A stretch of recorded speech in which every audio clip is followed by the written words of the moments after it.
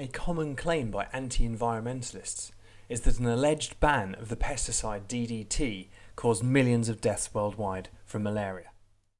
First, let's hear from a few of them. Discussion is that by eliminating DDT, malaria worldwide exploded.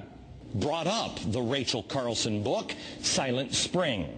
One of those things that it did was make a villain out of the pesticide DDT. DDT had been amazingly effective at killing mosquitoes. Shouldn't we be killing mosquitoes with DDT?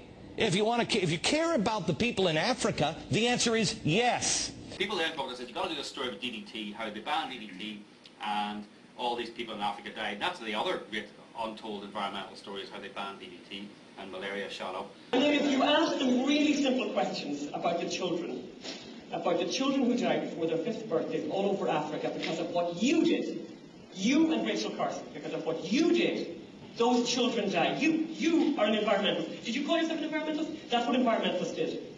Now explain it to me.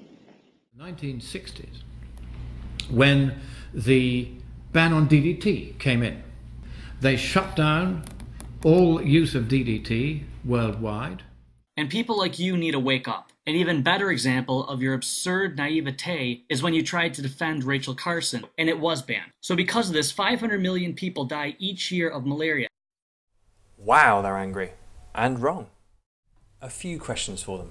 Was DDT ever banned for use against malaria? No. The Stockholm Convention has always allowed for the use of DDT against malarial mosquitoes, and this continues right up to this day. So, was DDT banned for agricultural use in some countries? Yes, but never for use against malaria, as stated in the Stockholm Convention. A search of Google Scholar for scientific peer-reviewed papers on mosquito resistance to DDT in the 1950s and 60s reveals just how widespread DDT resistance in mosquitoes had already become. There are hundreds of papers in multiple countries showing just how common DDT resistance had become, even as early as 1950. Apparently, resistance developed because of the indiscriminate overuse of DDT for agricultural pest control.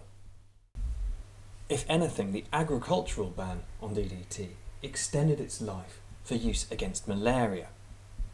In exactly the same way that limiting antibiotic use can help to extend its life in the fight against bacteria.